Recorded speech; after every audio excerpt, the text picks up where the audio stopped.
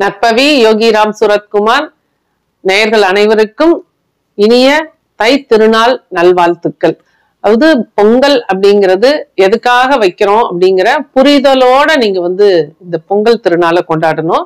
இந்த பொங்கல் பொங்கி வர்றது அப்படிங்கிறது நம்ம மனசுல வந்து இன்பம் பொங்கி நம்ம வாழ்க்கை நம்ம குடும்பத்துல எல்லா செல்வ செழிப்பும் பொங்கி நம்ம வந்து நிறைவான ஒரு வாழ்க்கை வாழ்வதற்குண்டான சங்கராந்தி தினம் சங்கராந்தின்னு சொல்லிட்டு ஒரு ஒரு தெய்வத்தை வழிபட்டாங்க நம்மளோட முன்னோர்கள். சங்கராந்தி வந்துருச்சு எங்க வீட்டுக்கு அப்படின்னு சொல்லுவாங்க. அது போன்ற ஒரு நல்ல விஷயத்த நம்ம வாழ்க்கையில புதிய துவக்கத்தை கொடுக்கக்கூடிய இந்த சங்கராந்தி நாள்ல இந்த தை திரு தை ஒன்னாம் தேதி அன்னைக்கு தை ஒன்றாம் தேதி அன்னைக்கு நீங்க வந்து நல்ல காலை நேரத்திலேயே அதிகாலையிலேயே சூரியன் வர்றதுக்கு முன்னாடியே பொங்கல் வச்சிருங்க. வச்சுட்டு சூரிய உதயம் உங்க ஊர்ல எந்த டைம்னு பார்த்து இப்பெல்லாம் கிட்டத்தட்ட ஆறரை மணிக்கு மேலதான் சூரிய உதயம் வருது. அப்ப அந்த சூரியன் உதயம் ஆகும் பொழுது நீங்க வந்து பொங்கலோ பொங்கல் அப்படின்னு சொல்லிட்டு வெளியில வீட்டுக்கு வெளியில வச்சு சூரியனுக்கு நன்றி சொல்லுங்க. வாழ்க்கையில அந்த சூரியனோட ஒளிக்கதிர்கள் அப்படிங்கிறது நம்மளோட ஆரோக்கியத்துக்கும் சிறப்பு.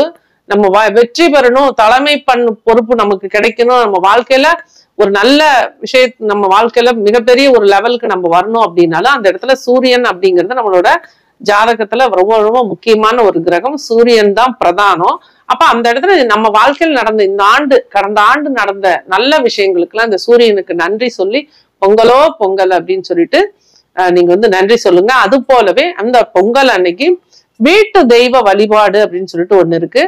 ஏற்கனவே செய்யறவங்களா இருந்தா செய்யுங்க செய்யாத இது வரைக்கும் இருக்கிறவங்க யாராவது இருந்தாங்கன்னா உங்க வம்சாவளியில் இறந்தவர்களோட போட்டோஸ் எல்லாத்தையும் வச்சு அவங்களுக்கு படையல் போடுங்க. சில பேர் வந்து கிராமப்புறங்கள்ல மாட்டு பொங்கல் அன்னைக்கும் செய்வாங்க. செய்யறது சிறப்பு தான் மாட்டு அது வந்து ஆதி முன்னாடி காலத்துல வந்து விவசாயம் தான் நம்மளோட முக்கிய தொழிலா இருந்ததுனால மாட்டு பொங்கல் அன்னைக்கு இந்த படையல் போடுற ஒரு வழக்கத்தை வச்சிருந்தாங்க.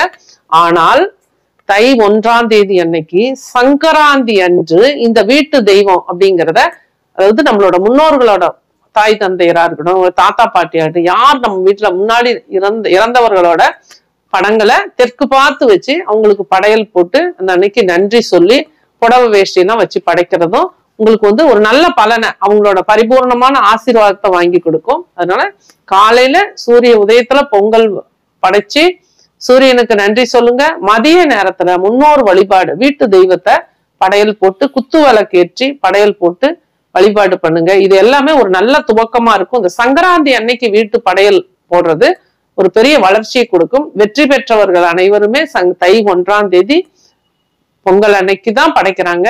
அது போல நிறைய நான் என்னோட ஆய்வின்படி இதை நான் பல இடங்கள்ல பா பார்த்து நாங்களுமே மாட்டுப்பொங்கல் அன்னைக்கு படைச்சிட்டு இருந்தோங்க. கிட்டத்தட்ட இப்போ பத்து ஆண்டுகளாக நான் தை ஒன்றாம் தேதி அன்னைக்கு தான் நான் படைக்கிறேன். என்னோட வளர்ச்சி ஒவ்வொரு ஆண்டும் பெரிய அளவுல போயிட்டு இருக்கு அதனால நீங்களும் நேயர்கள் எல்லாரும் தை ஒன்றாம் தேதி அன்னைக்கு வீட்டு தெய்வத்தை வழிபாடு பண்ணுங்க. முன்னோர்கள் வழிபாடு பண்ணுங்க அன்னைக்கு. காலையில சூரியனுக்கு நன்றி சொல்லி சக்கரை பொங்கல் வச்சு ரெண்டு பொங்கல் வைங்க. ஒரு வெள்ளை பொங்கல் ஒரு சக்கரை பொங்கல் வச்சு சூரியனுக்கு நன்றி சொல்லுங்க. இதெல்லாம் உங்க வாழ்க்கையில ஒரு பெரிய மாற்றத்தை கொடுக்கும். நன்றி. வாழ்த்துக்கள் நற்பவி. அனைவருக்கும் இனிய பொங்கல் திருநாள். நல்வாழ்த்துக்கள்.